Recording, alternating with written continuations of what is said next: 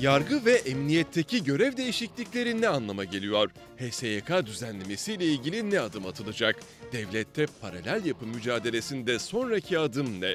Yeniden yargılama ile ilgili formül var mı? CNN Türk Ankara temsilcisi Hande Fırat, Gazi Üniversitesi öğretim görevlisi Hüseyin Yayman ve Cumhuriyet Gazetesi Ankara temsilcisi Utku Çakır Özer soracak. AK Parti Genel Başkan Yardımcısı Hüseyin Çelik yanıtlayacak. Ankara Günlüğü Pazar 21'de.